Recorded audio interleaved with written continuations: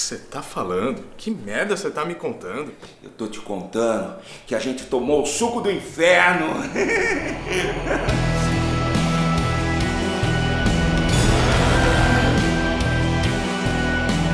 A gente tomou o suco do inferno.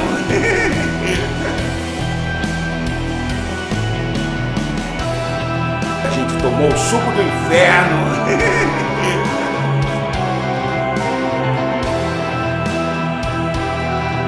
tomou o suco do inferno.